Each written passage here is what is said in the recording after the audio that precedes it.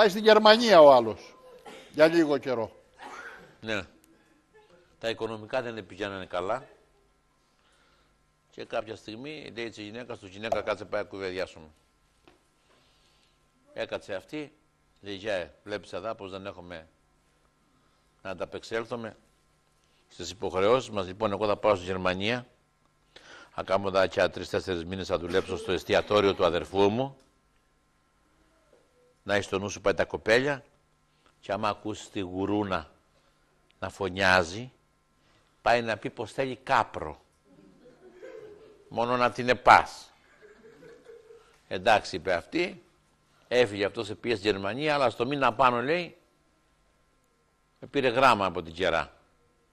Το ανοίγει, διαβάζει, ξάνοιξε να έρθεις γρήγορα, γιατί από τη μια η γουρούνα και από την άλλη εγώ είναι το σπίτι μας ένα μούγκρος κάθαργα.